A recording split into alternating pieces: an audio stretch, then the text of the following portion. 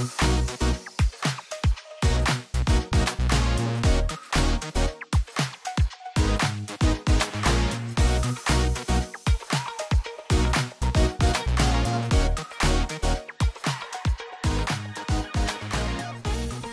the final one in our series, Full, today I'm going to speak to you about the infilling of the Holy Spirit. The infilling of the Holy Spirit. Now, I want you to appreciate this that this is a massive subject. And so, for that reason, I wrote a book. So, you need to go and read the book. You need to get yourself a copy of the book, and you need to go and read the book. In the book, I talk about the infilling and how it compares to what the Bible calls the baptism of the Holy Spirit. I talk about what those mean and so on. Um, and it is based on Acts chapter 13, verse 52, where Luke writes and he says, And the believers were filled with joy and with the Holy Spirit. The question we ask today is, what does the infilling of the Holy Spirit look like? And why is it, why is it a necessary discipline in the life of every believer? Last week we spoke about prayer. This one links to prayer. The prayer and the infilling often goes hand in hand. It is often in our prayer times that we experience the infilling of the Holy Spirit, but not always. I want to show you today that the infilling of the Holy Spirit is very practical. It is something that can be recognized and exercised any moment of our day. It doesn't have to be in, in, uh, in a deep spiritual space, but it can happen throughout the day. And the infilling of the Holy Spirit is necessary. Luke says the believers were filled with joy and with the Holy Spirit. In the book, Live the Third Person, I explain that there's a twofold work of the Holy Spirit in the life of the believer. The one is that the Bible says the Holy Spirit seals our salvation. That you and I can be confident. That is the work of the Holy Spirit. In fact, the Bible also talks about that as a baptism. Baptism into the body of Christ. We are sealed. It's like, it's like uh, putting us into that Consol jar and sealing that top, and we can all look out into the world and say to the devil, What you going to do? We are sealed, we are secure. But there's another part of the work of the Holy Spirit that is the practical side of that salvation reality. It is something that happens on a daily basis, and it allows us to become more like Jesus Christ. It allows us to become more spirit filled so that we can fulfill God's purposes for our lives and be empowered to do so. And I want to focus today on the practical aspect of the infilling of the Holy Spirit in the life of the believer. Are you good? So, Paul writes to the Ephesians in chapter 5, and he says this to them. He talks about the infilling and he gets very practical, um, and he says this to them So be careful how you live.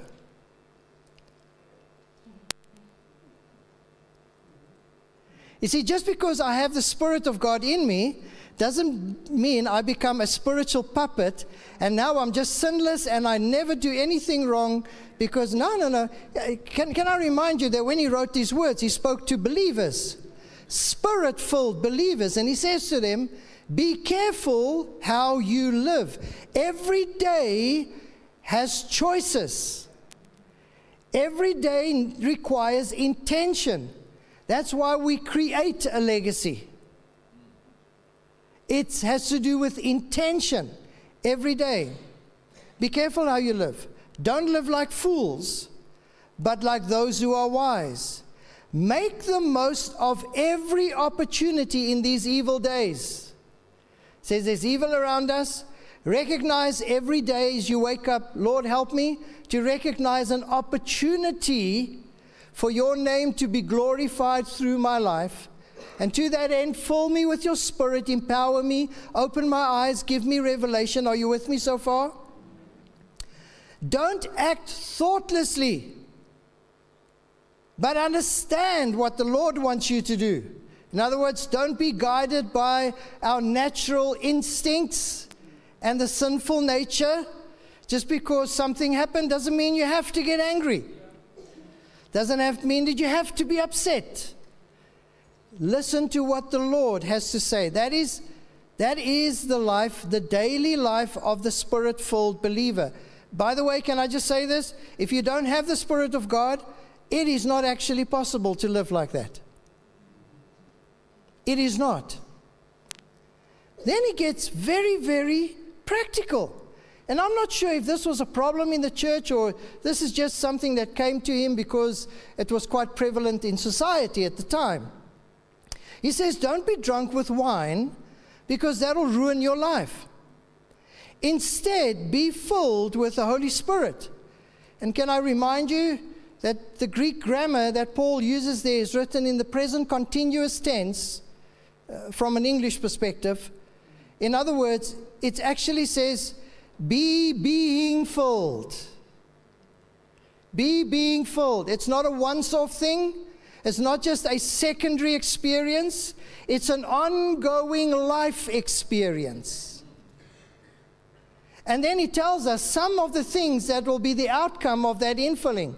It is not exhaustive, but here are some of the things singing psalms and, and hymns and spiritual songs among yourselves and making music to the Lord in your hearts. I like that one.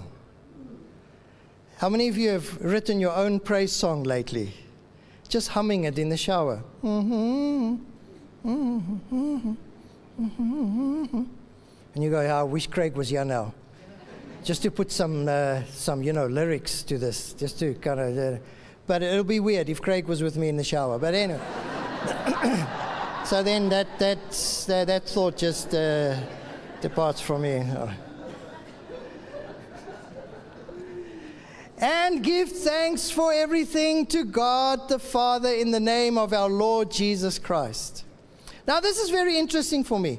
You see, when, when, when I read this, I'm go, I don't, I don't think it's just, it's just not something, it's just by chance that he thought about or compared the infilling to the infilling of, the infilling of the Spirit to the infilling of another kind of spirit. That is alcohol. I think there's something there. So, the first thing that I asked was, what does wine do to us? What does wine do to us? And so I little, did a little bit of a, a Bible study, and, and I discovered an interesting verse in Psalms, in the poetry. And the psalmist takes a moment to thank God for everything that he does. And in Psalm 104, he says this You cause grass to grow for the livestock and plants for people to use. You allow them to produce food from the earth, wine to make them glad, olive oil to soothe their skin, and bread to give them strength. Interesting, isn't it? The psalmist says, Wine is given to us by God to make us glad. Okay, now just, whoa, whoa, just, just, I can see some of you are already panicking. Pastor Jay, where are you going with this? Right? No, no, no, no, uh, just, just hear me out, okay? That's what the psalmist says. Wine is given to us to make us glad. Like so many other good things that God has given us in life. Now, how many of you know that there's a problem here, though? There's a problem here. Here's the problem. The problem is, is that so much of what God has given us to make us glad in life has been abused, out of context, and beyond healthy, disciplined moderation.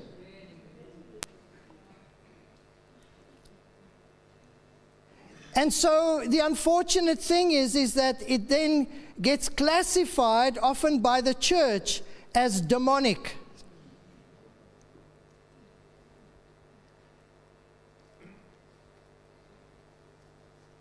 And in this context, the result, when, when something that God gives us that is good that's been abused, the result, and especially in the context of, of alcohol, Paul is saying gladness is then exchanged for drunkenness. Instead of there be, instead of moderation, sober mindedness, it's the same with food. How many of you love food? He says here, Bread gives us strength. Oh, my word. I look at some Christians and I go, You need to eat less bread.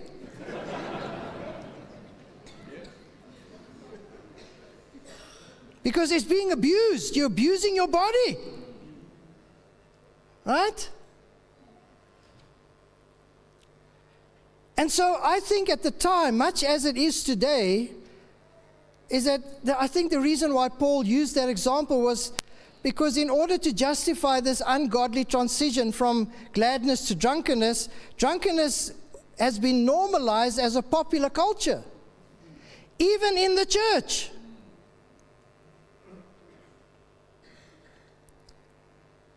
And the thing is, this is not a right versus wrong issue.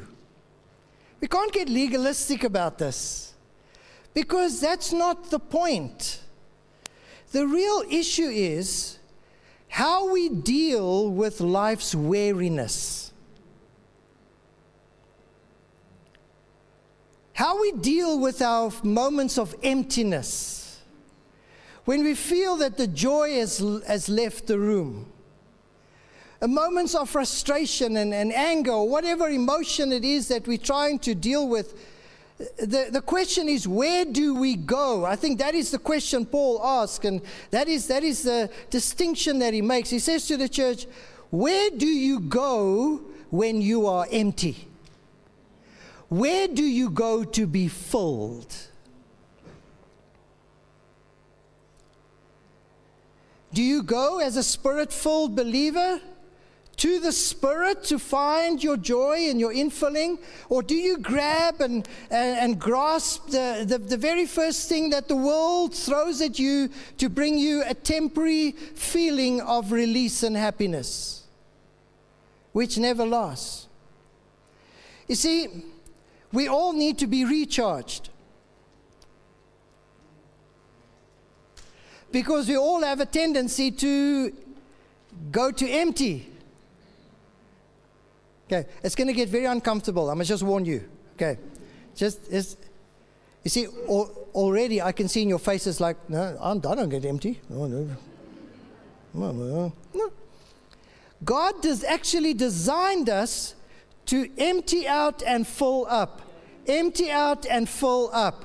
Empty out. The problem is, just like if you drive a car or whatever, just like people, people push the reserves as far as they can and then they go crash somewhere. You see, you don't ever have to be on the empty.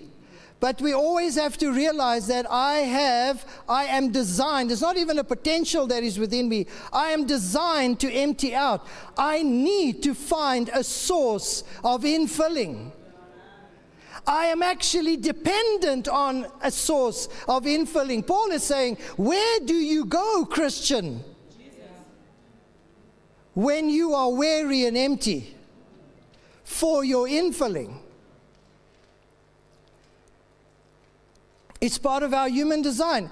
In fact, in, in, in Matthew 11 28, Jesus said this Come to me, all of you who are weary and carry heavy burdens, and I will give you rest.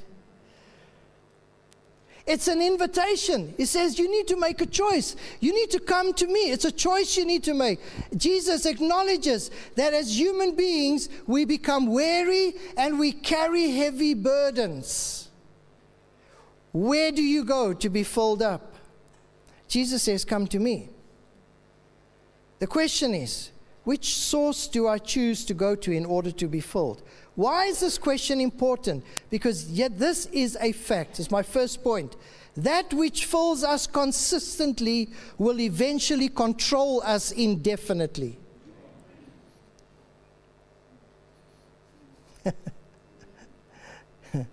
if sugar fills you consistently, it will control you indefinitely. It becomes an addiction just like wine, just like anything else. Because we go when we feel down, we go to that source again every day. And so that source becomes our, our place of dependence. We have a natural need for infilling. We are dependent people. I told you it's going to get You see, already, you see, there's something in my pride that goes, I'm not dependent on anybody. No. No, we are. Actually, we are. There is no such thing as a, a, a self fulfilled life.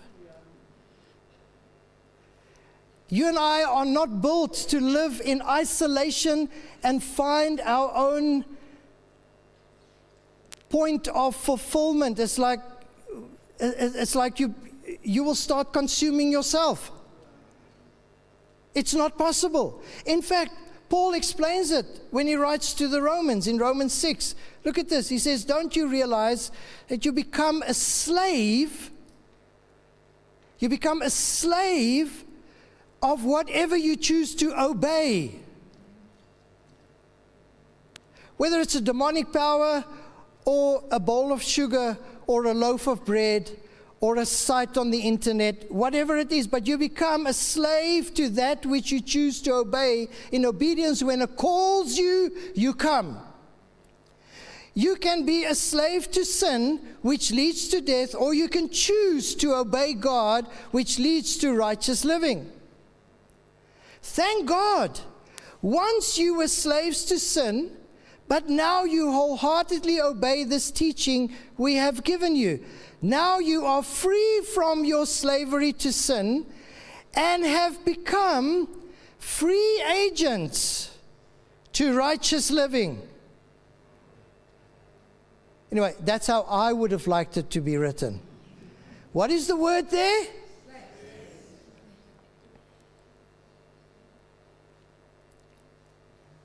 This is weird, isn't it?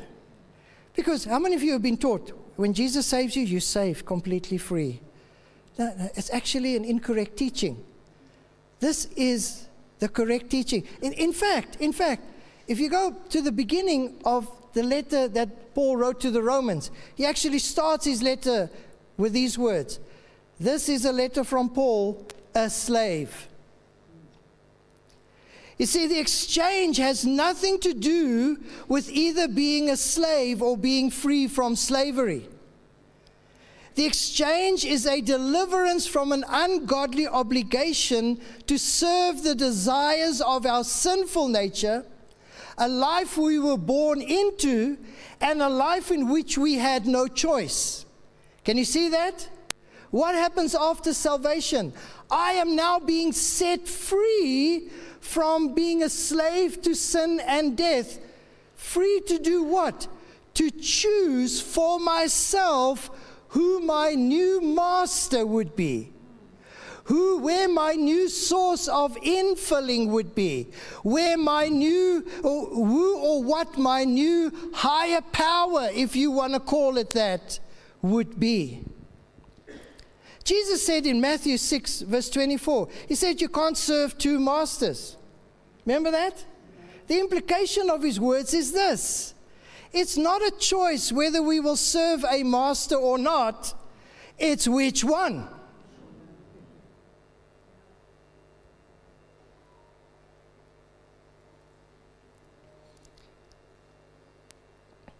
So now I'm free, and I've chosen that God is my new master, but it's beautiful because he's somebody else. I am fully dependent on him, just like I was to my sinful nature and, and the, the, the urges and the obligations that I needed to fulfill. But he comes to me as a father. he embraces me as a son. And he says to me, You will not be abused by me like you were abused by sin and death. You can come sit at my table. But always remember this that a price was paid for you. Don't get cocky. A price was paid for you.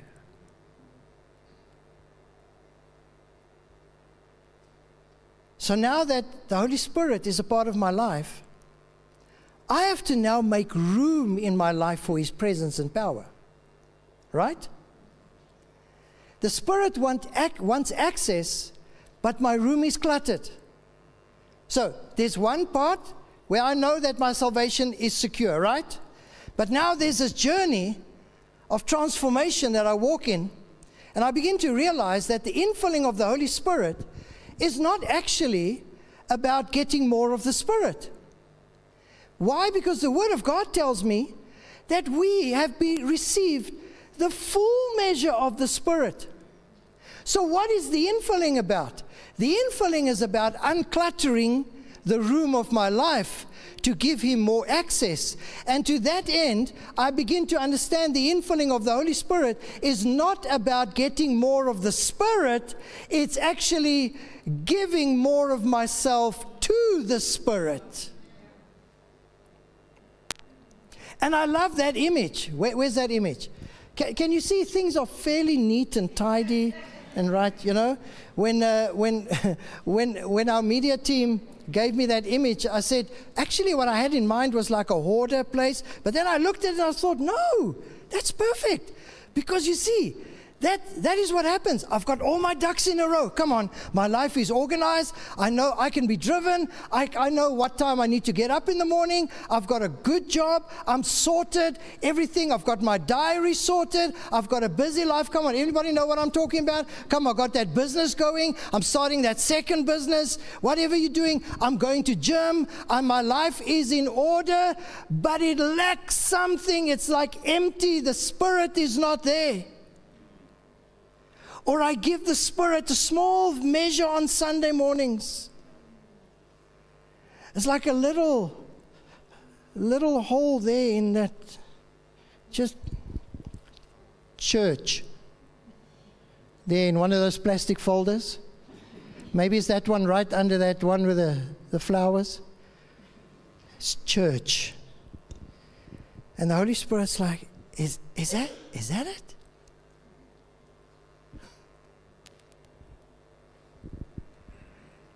You see, Paul says this needs to happen often because every time it happens, it's a process of uncluttering. It's not just a, a moment of the spectacular where I shake or I do something or uh, no, it's, it's, it can happen like that, definitely. And it might even happen today like that for somebody in this place. But it's actually the most powerful spaces of the infilling is in that moment when I get angry in my day. And the Holy Spirit says to me, You're, you're about to do something foolish, like Paul says. You're, you're, you're a spirit filled believer, but the old sign language is coming out of you. And it's just like there's just that you, you're getting so overwhelmed with anger and frustration. Say, can you just, can, can we exchange that emotion that's welling up within you right now? Can I exchange it for the voice of God? The infilling cannot happen unless there's an outpouring. That's why in Ephesians 4, Paul says, Since you have heard about Jesus and have learned the truth that comes from him, throw off your old sinful nature and your former way of life, which is corrupted by lust and deception. Instead, let the Spirit renew your thoughts and attitudes. Put on your new nature, created to be like God, truly righteous and holy. Can you see that? There cannot be a putting on, there cannot be an infilling unless there's a taking off, an outpouring, an outthrowing, a kicking out of something, someone, sometimes. But you see, this is what we do. We go, let's see if we can have both. Come on, it's been cold, eh? How many of you have like, you know, you're like, those really cold nights. You're like, you, you know, you, you, need to, you need to pile up the layers before you climb into bed, right? And you put that nice vest on right underneath. Then you put something else on your pajamas, and then, and in the morning you get up out of bed. It is so freezing, right? Now you know you've got to take all that stuff off, and you've got to put your working clothes on, and then you go, you know what, I'm just going to leave that vest on. Come on.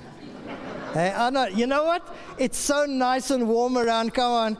I'm just gonna I'm just gonna leave that vest on. And now now now now you're walking around all day long with that same vest you slept in, but you've got nice fresh clothes and you know you hoy the deodorant and everything, and it's all good. And then you get home tonight and it's cold again, and you take your clothes off, and that that vest is now it's sort of become like like tight and you know like it's become like like nice and and sticky and and it's nice. And you go you know what? One more night. Come on one and you know take it and you put on your pajamas go, go I can see in your faces yeah yeah. I know some of you sitting here you go yeah. You say I'm doing that I'm doing that I've been doing it for four or three nights now.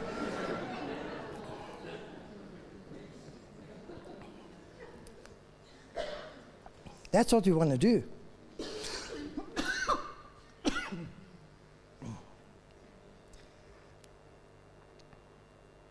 Holy Spirit says, How long? How long are you still going to keep that old stuff? I want so much more of you. You've lost your joy. You're still frustrated. You're still legalistic. You don't, you don't allow the Spirit to renew your mind. Something happens and it's not perfect in your world, and you just fall apart and you get angry. And how can this happen? And, uh, and you just Yes, when are you going to give that stuff to me?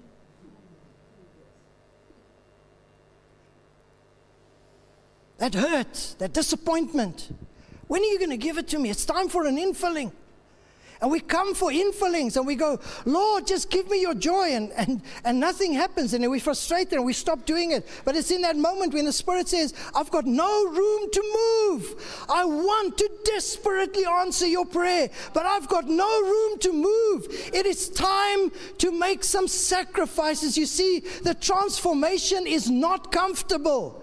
The transition from drunkenness or from drunkenness to being filled with the Spirit is difficult because it implies that I have to let go of things and emotions and often people that give me a sense of security. I'm comfortable here. It's like that vest on me. I, don't, I know when I take it off, it's going to be chilly and I'm not going to feel good and I'm struggling. And the Holy Spirit says, unless you let go, unless you throw off. I cannot fall in. It's about the space. You have my full measure, and I want to pour the full measure of who I am into your life. But you and I have to make room. And room starts with repentance. So, the question we ask today, I'm going to ask Pastor Debbie to come up. The question we have to ask today is this two questions. One,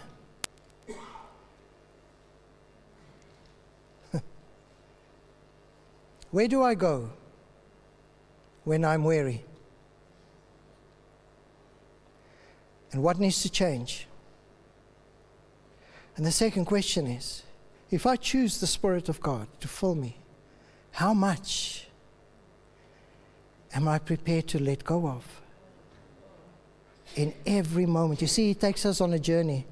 He's never going to come and say, Today we're going to sweep out your whole house. Says, Just give me that one corner in the room. You say, This is just today, just today. He says, There's that one thing. I've been talking to you about it for a while. Just give me that one thing.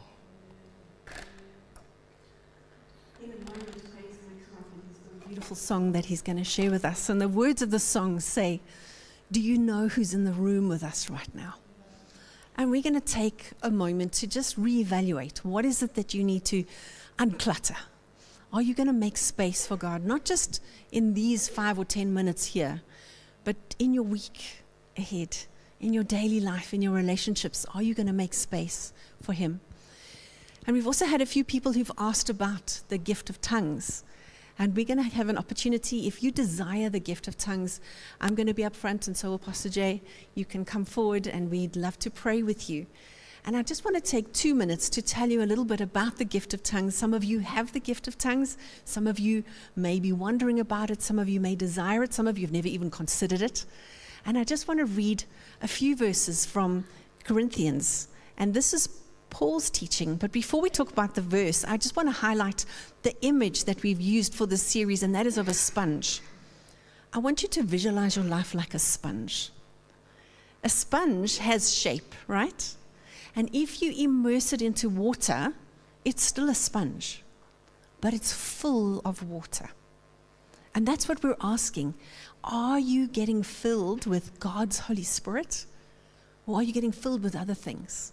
And if you take that sponge out of water and you squeeze it, what's coming out of you in the week? Are you encouraging others? Are you praying for others? Are you responding with peace and with joy?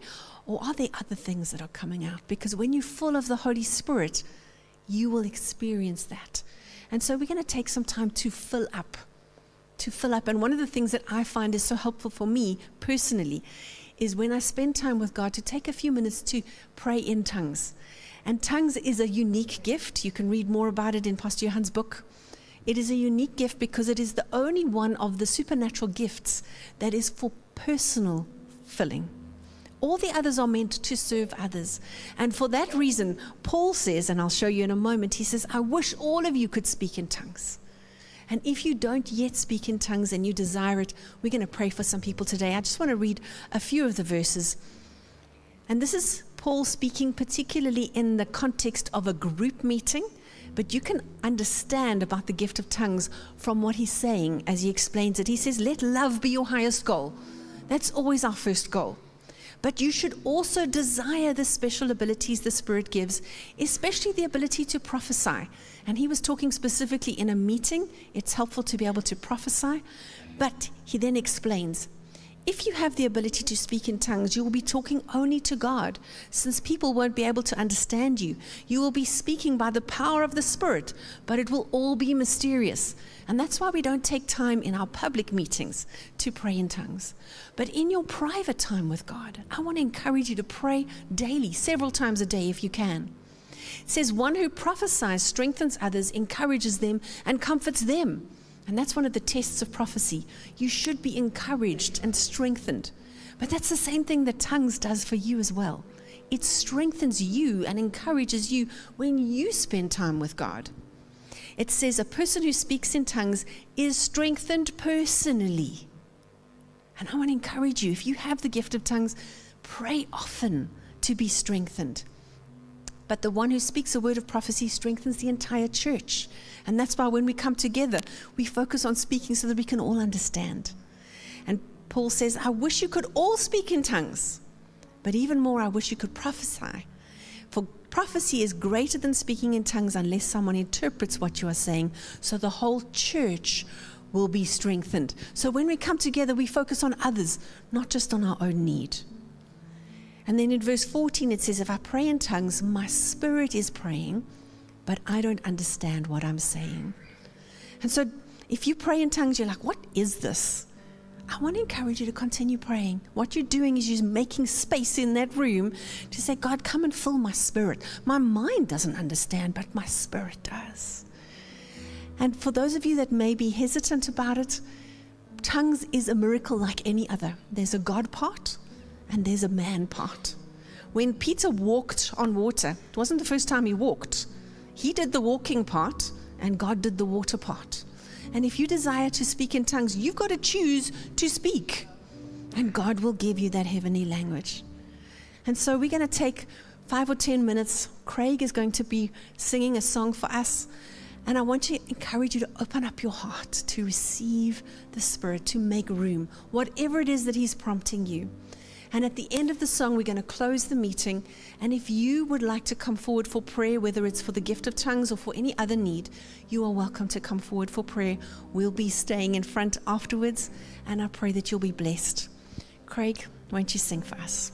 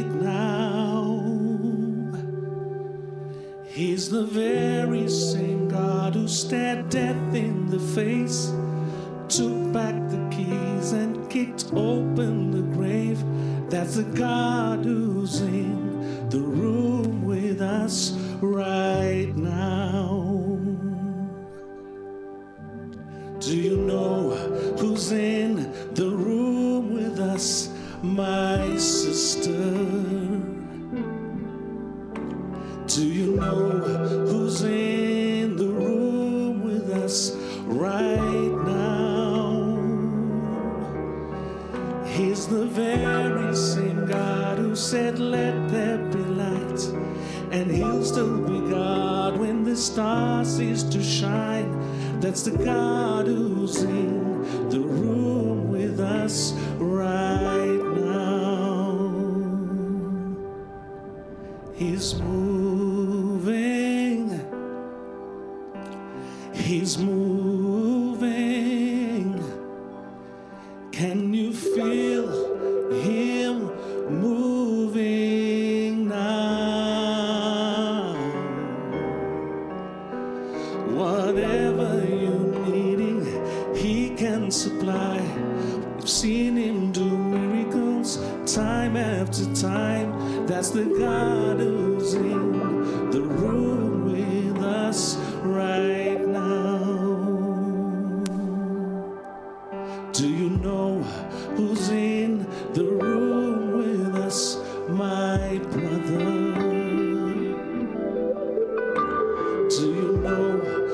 see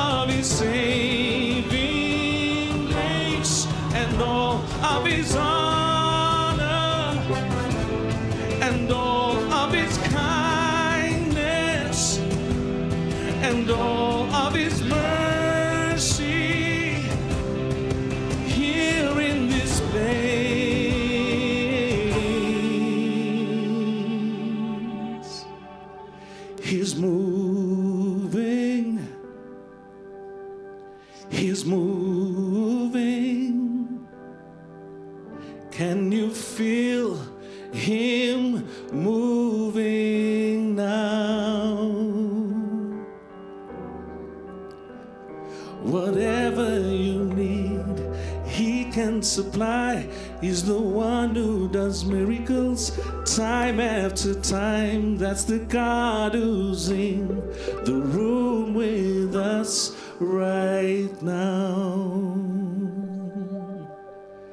Do you know who's in the room with us, my brother? Do you know who's in the room with us right